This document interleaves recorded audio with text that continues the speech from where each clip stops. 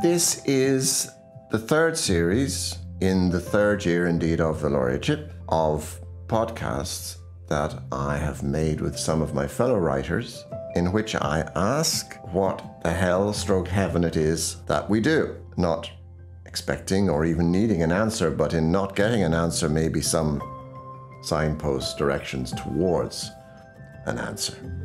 I really hope you enjoy them. So today I'm talking to, amazingly uh, to me, uh, Thomas Kilroy, whom I last met on stage in 1989 when we were doing a reading together. And the thing I remember most warmly about him, I was about 34 and I was terrified. But when I started to read from what I had to give to the audience, I could hear his warm uh, and genial laughter behind me.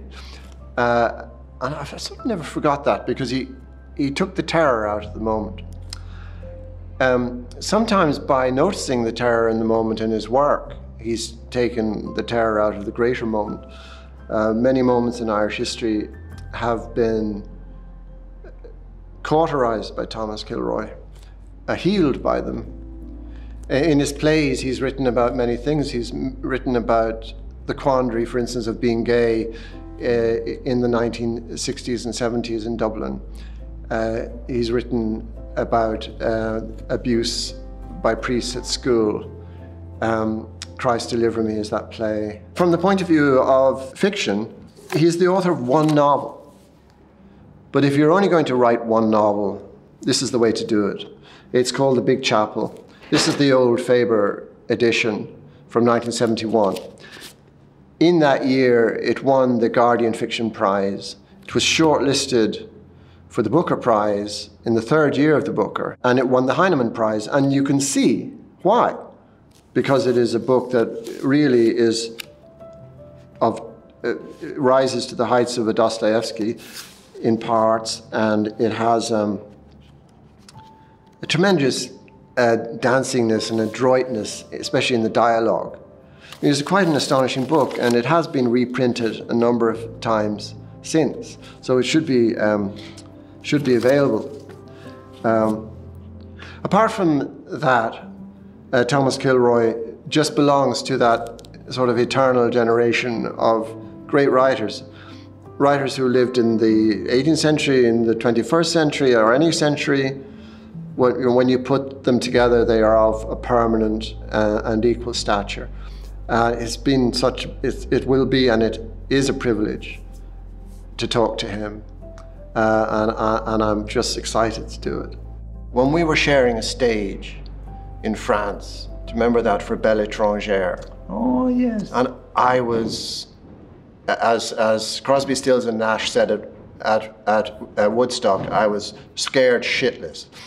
And I read from Boss Grady's Boys, which was yeah. my first play. Yeah. And behind me to my left, you were sitting. And I heard you laughing in this wonderful appreciative, with uh, the way you're doing now in this second. And that, that was like that was like release from fear. So thank you. 30 years later. Thanks for the laughter.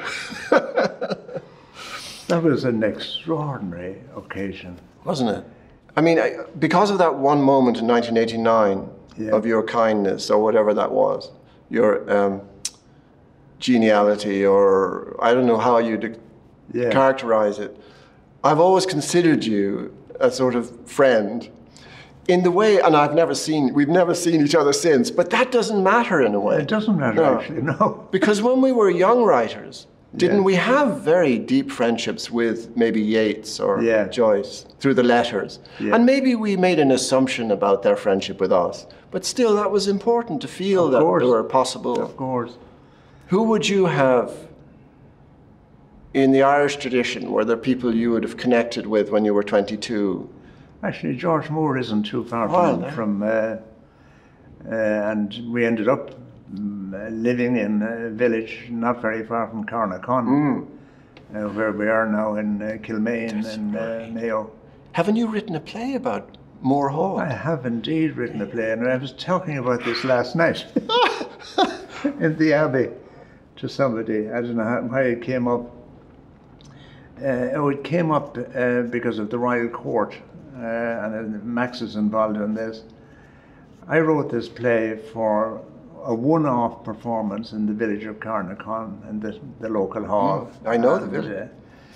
Uh, um, the idea was that it would be uh, uh, a piece of uh, docudrama Mm-hmm. uh, involving George and his His brother, maybe. his servant, Oh, his servant. Okay. his male servant, Ah. whom he took to Paris. Ah. And this Mayo um, uh, gobshite. and I'm sure he wrecked many salon get-togethers for for uh, Moore, but um, we at that stage, uh, Mark Lambert and Tom Hickey were playing for Max in the court. I can't remember what they were doing. And uh, I, um, unknown to Max, arranged to get the two boys over for a Sunday night reading performance in the, the Carnacon with Tom Hickey playing the servant and Max playing and uh, Mark playing uh, George. When Max, Max heard what I had done, all hell broke loose. He was absolutely infuriated Really? that if something had happened, that uh, the insurance wouldn't cover it. Oh my God. They were not supposed to be outside the island of the United Kingdom, you know, I see. during a run in the court. Uh-uh. And uh, I didn't appreciate quite what I was doing, but we got them to Knock Airport and got them back from Knock Airport Oh, for for the. Monday night performance. There's something strangely post-colonial about that. I can't quite identify what it is, but Yeah, they are our actors. Yeah. And surely they can play in Mayo if we if we want them to. yeah. And Tom Tom Hick, Tom Hickey. I But mean, they, they, they were totally game for it Yeah. and thought it was wonderful. but a genius, no, Tom. and and oh yes, absolute genius. Mm-hmm. And uh, you know they did what about three hours uh, rehearsal in Mm. the afternoon on Sunday, and then they went on on Sunday night. That was it, Mm. and there was no more of it. But he didn't want it. He didn't want that inheritance, did he?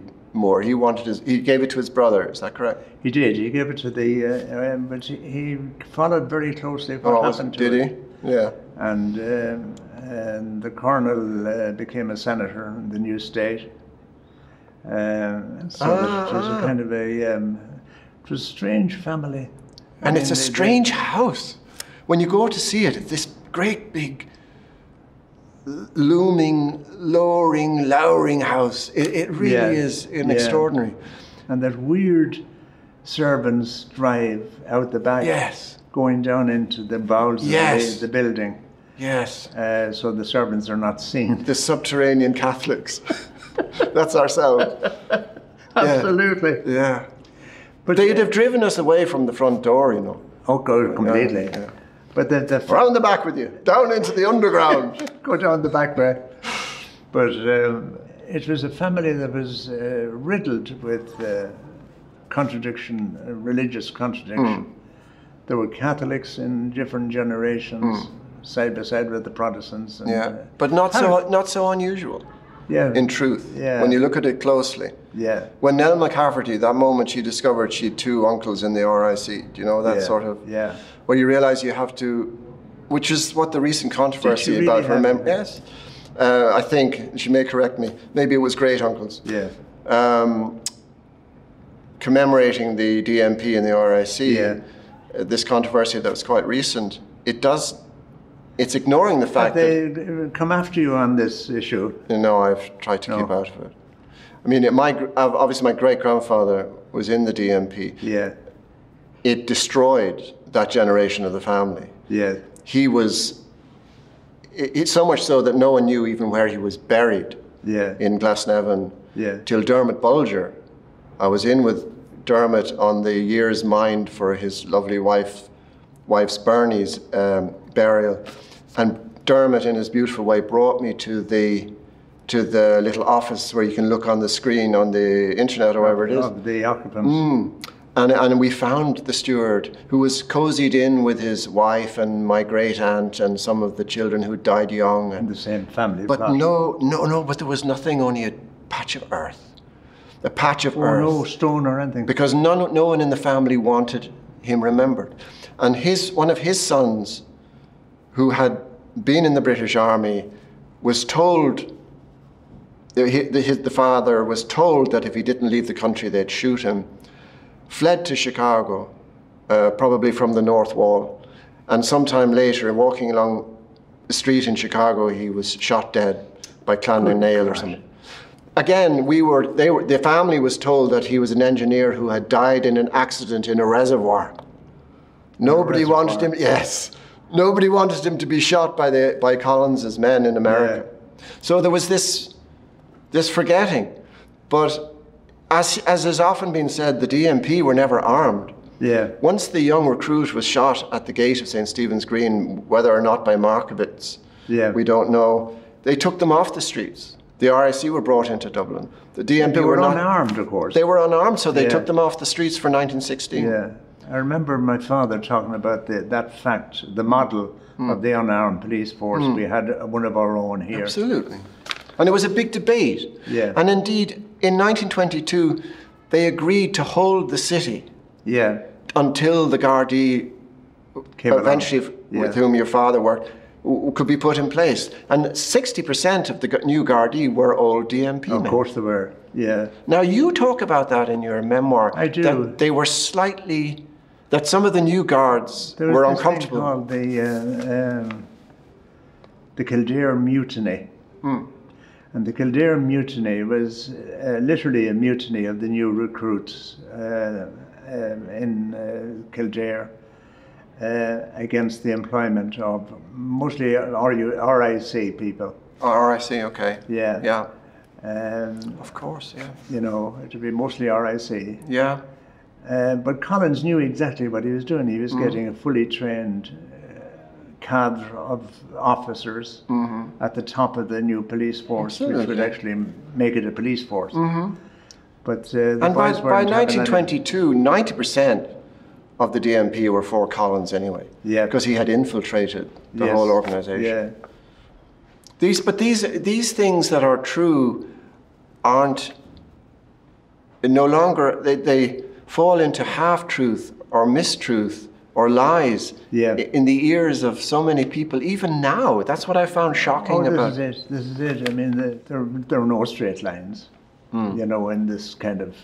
And it's all our tapestry, right? It's all our Yeah. story. And uh, as you know yourself, it's um, um, it's a complete compendium of different things going on, highly contradictory, and uh, but that's the way it should be.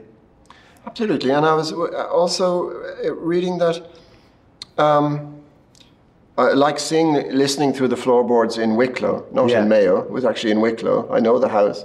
To the servants talking Oh, below. Y- You used to hear your father through through the floorboards, listening to Lord. Lord Ah. yeah, absolutely. What is this Riveted. tradition in Irish literature of listening through the floorboards? Riveted attention.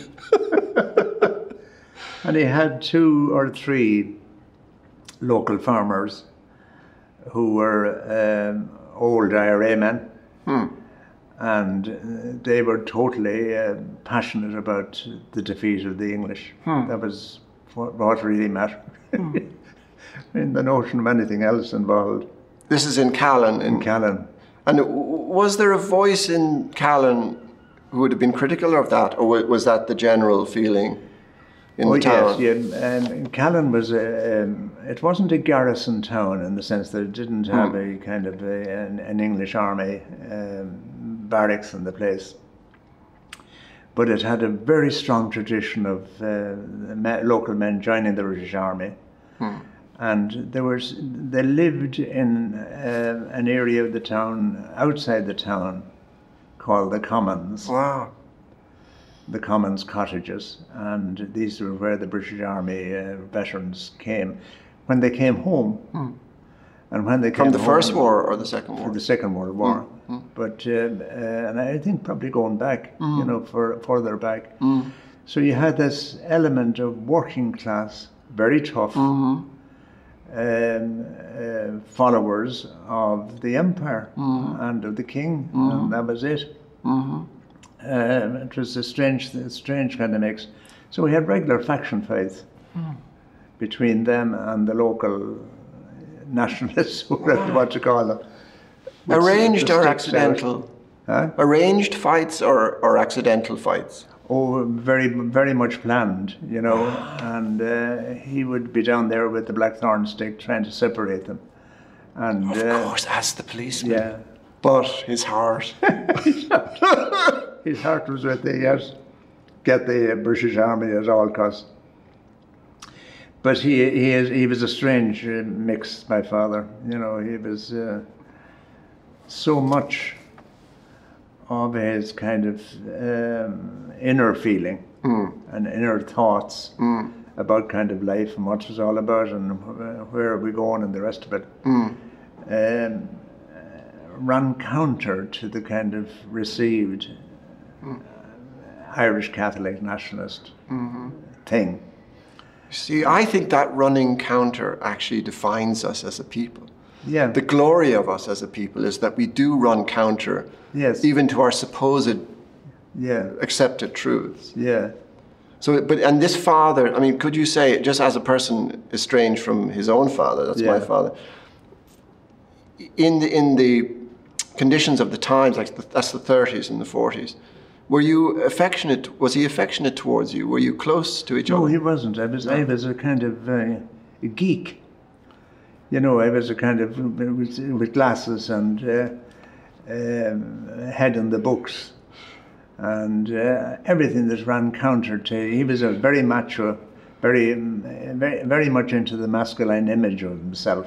Right. Um, I mean, I didn't see it like that at the time, but that's what it was. And I would have been a weakling in the family, you mm. know, and, and indeed I had bad health as a kid. Mm. So um, everything went, was not working there at all. Mm. And it was only much later when I started to write and got a bit of attention that he suddenly changed. Yeah. See, that's the use of PR, Tom. Absolutely. you can reconcile your father to you. Isn't that something that? Yeah. That's a common story, I'm sure. I'm sure it is too. You know? Well, I mean, the McGahern story is is an interesting Exactly. uh, version of that. With violence in, in, Oh, in, very, added very in. incredibly violent. And uh, But a similar story in that his father was a policeman also. same story, yeah. And um, uh, Dermot Healy, the late Dermot, used to say it was the um, the the day school, the day room school of Irish writing.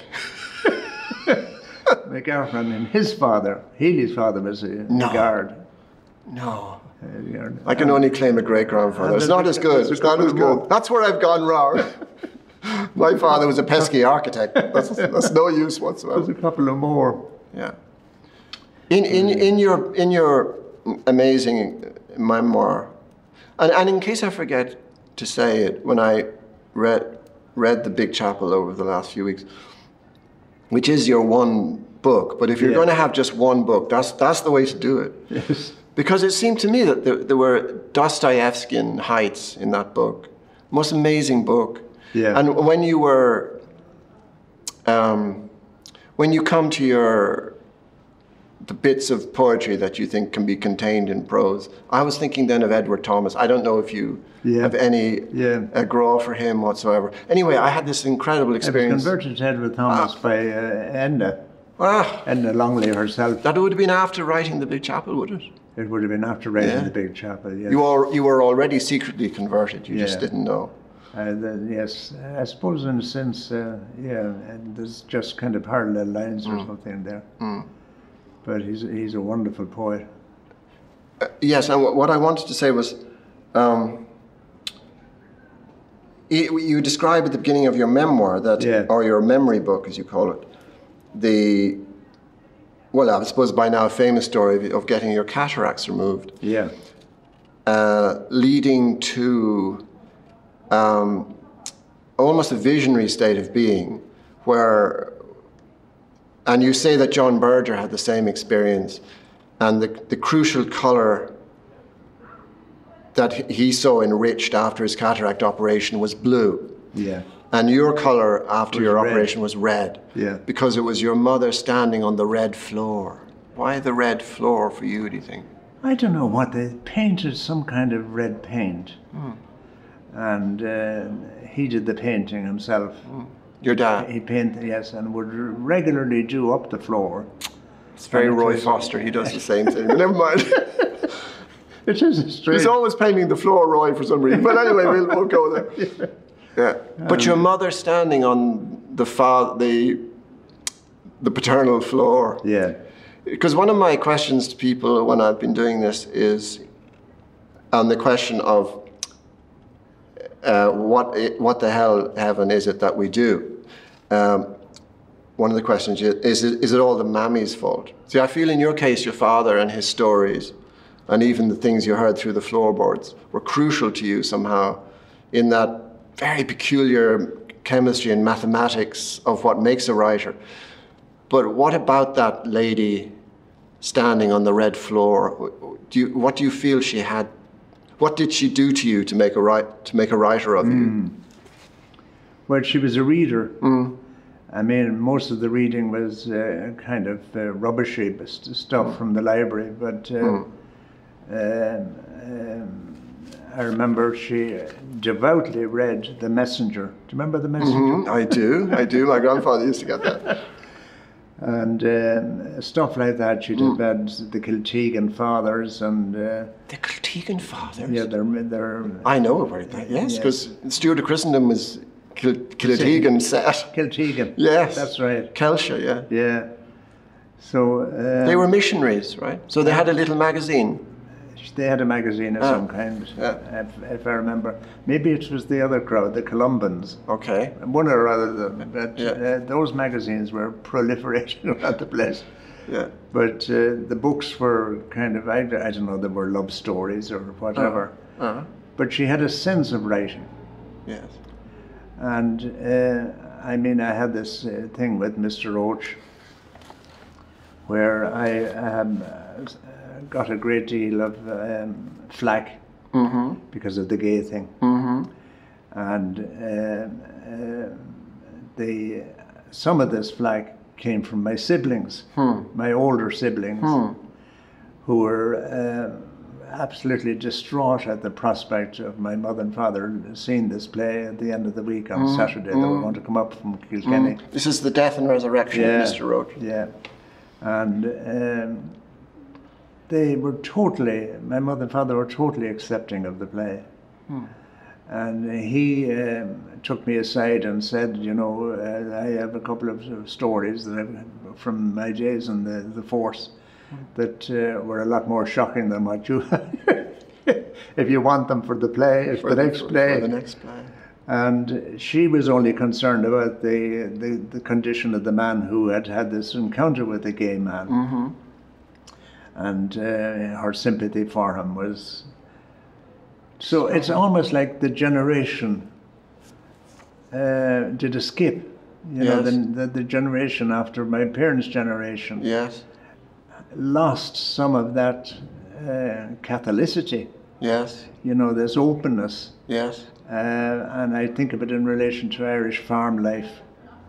You know, that coming from farming background, uh, as they did, from a farming community, uh, that this helped. Whereas the new generation of my brothers were the new Ireland, uh, the new middle class, Yes. and uh, felt threatened by anything like this. Yes. Well, it's in the old literature, and in fact, all that's edited out of the Táin Yeah, in the old editions. yeah, But it's there, you know, the, the love between Cuchulainn and who, who's the man he of course killed. it is. Do you do you consider yourself, a, in that sense, a champion of of the gay movement or of gay people? Um, An ally. I certainly felt a great deal of sympathy, you Hmm. know, but it's, it's kind of tea and symphony, you know, sympathy. it's, um, um, it doesn't get you very far. Um, I wouldn't have known enough. Hmm.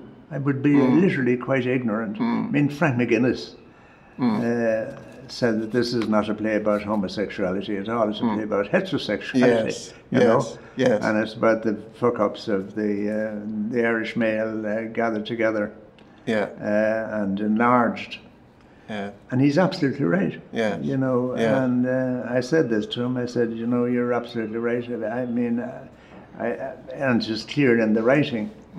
I, I hadn't a clue what the whole gay thing was about, except that it was this uh, potent threat uh, to males that I knew, Yes. uh, as indeed it was. Um, so um, I, I think it's it's uh, maybe the, maybe it, I was lucky to be innocent. yeah. I saw the death and resurrection of Mr. It must have been in the 80s. Would it have been? There was a revival uh, of the in the Abbey. Yeah. yeah. I, would have seen the 80s, Which yeah. it's which is a, it's a devastating play to Yeah. see. And the curious thing of my memory of that play is that it is about oh, I don't know, the despairing the despairing atmosphere that surrounds Irish maleness. Yeah. That's what I remember. I don't even remember the gay the gay Yeah. element of it. Um, but now that it, now that it's, if it was played now, that would be very clear Yeah, uh, and important yeah. element in it. And that's the test of a play, I think, is that it will seem like a different story almost in a different indeed. in a Yeah. different decade. Revivals are strange like that Yeah. Because they do tell different stories, Yes. Absolutely. and um, it's Yes. you'd wonder what the relationship is to the original. Yeah. Even what the relationship of the original is to you as an individual. Yeah.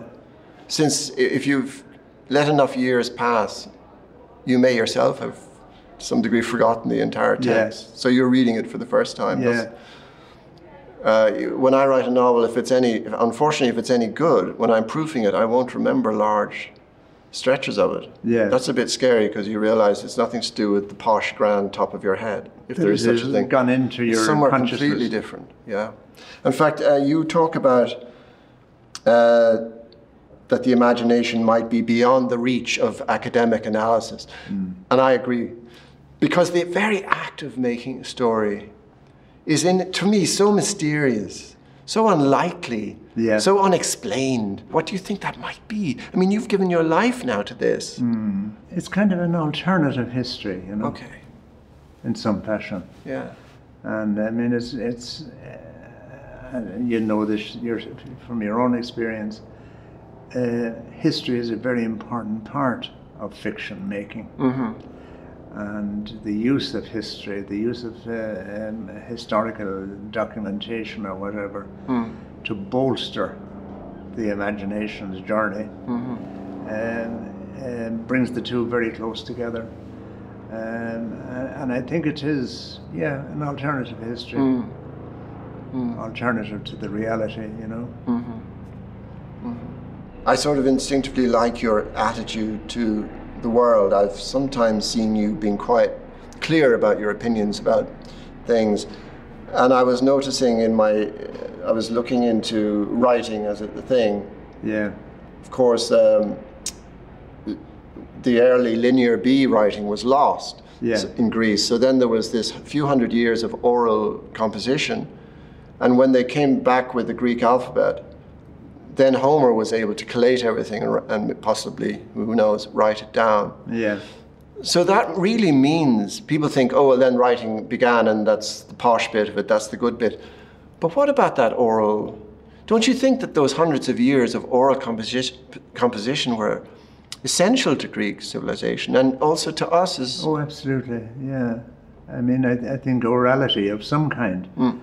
is in the written word, and it's, uh, I was going to say entombed in the written word, but it's, uh, it's uh, firmly planted in, in the written word, uh, and particularly the written word of, uh, of plays. uh, where the, the oral, the whole identification of character is through the oral, is through a voice. And um, uh, it's the unlocking of that voice. Um, um, then the only trouble is that it's it, it can st- it will stay forever. The only trouble is to, shut it up. You know. Yeah. Who were the ones who helped you, Tom, in when you were starting out? Ben Kiely. Ben, there you go. We have this in common. Ben was, was an extraordinary presence, and uh, Um, because of his equanimity, you know, the fact that uh, um, it hadn't gotten to him. and he was there in uh, some kind of buttressed Yeah. uh, hogshead of porter and sweetness, though. and sweetness. You know, a hogshead of sweetness. Yes. but he'd burst out then into rages. He used to go into a rage uh, at um, parish priests having holidays. Right. And Of course, that that's he very annoying. never had the chance of a holiday Because he was a writer because he was a writer, was a parish drinker, writer. and a drinker. and a drinker. but um, he was certainly there. Mary Lavin. Mm. And Mary was very, um, even though I, I couldn't write short stories, as incapable of me, writing ne- a me short neither. story. Me neither. but um, um, she um, she had that kind of passionate support. Mm. And she supported a lot of people, you know, like Nuala O'Faoláin and A uh, benign presence, Mary yeah, Lavin. yeah, One of the things you say in passing, you know, over the backyard wall, is you were very interested in the fact that prose could have some of the detailed uh, effects of poetry. Uh, and I want of your grace just to read one paragraph, I think, which illustrates that. surely. And it's that little bit there at the bottom of the page. And this is my feeling about these passages in your book when you talk about the detailed effects of poetry, that there is an Edward Thomas. And as you know, Thomas's first poems were, were stolen out of his prose books. Because Frost or somebody said, you know, you could make poems out of some of these passages. And that's the way he came about. it. Yeah, that's how he got to it. Okay, this is uh, the extract. The air above the river was like blue water in motion. At the observatory window, he stood and felt he could hear the contented chuckle of water over stones. Then he saw the couple away below him on the river bank. The other scully boy and that girl young foals in pasture. Not walking, but wading through the long rushes and the switchgrass. Creatures of the river in their natural place. Her long black hair was tied back and she tossed it like a young filly as she made short runs, letting the clumsy ploughing boy catch up with her before moving on again. That's so beautiful. Do you, do you catch the Edward Thomas before you even read Edward Thomas? It must be something proper to Yeah. the nature of both of you. Funny, we're talking about Mary Lavin uh, in the middle of the fields. Yes. The first uh, story on that is Yes. about wading through grass. Ah. Just came back to me. I was entranced to read that in 1955, the year of my birth, you saw John Gielgud playing Lear. Yes. And you didn't think it was a great production. Yeah. But he, that man playing it, did something to you. And I saw John Gielgud in 1973 playing No Man's Land with Ralph Richardson. And that made me think, rather than, than any play I'd read or literature, that made me think I could work in the theatre. Or that I would love to work in the theatre if this was the terminus. yes. If this was the yes, And w- that's fascinating. No man's Gielgud- land. Yes. Yeah. And Gielgud, a sort of supreme prompt to a mm-hmm. playwright. Both of these playwrights, Yeah. with 20, is it 20 years between Yeah. or longer? And that's just rather astonishing. Gielgud was a very courageous actor. I loved courage in an actor, and Donal had this in spades. Oh my God, talk about you know, confidence. um, so that they put themselves through the wringer um, in ways that you might not have even kind of sensed when you were writing. Um, you're, you're given uh, risk taking at an enormous level. And uh, um, Gielgud's espousal of new writing and the theatre Absolutely. when he could have rested on his Yes. many laurels. He did turn down Godot now. He did. He couldn't make head nor tail of it. I know. Yeah. Yeah. In closing, you see, this sort of slightly terrorized individual that I am by a public life has brought me around to this beautiful moment where, uh, which I will cherish all my days, where you and I have sat down and talked about nothing and everything. And I just want to thank you sincerely, lovingly for this experience, Oh. Tom Kilroy. Thank you. Pretty nice. Thank you.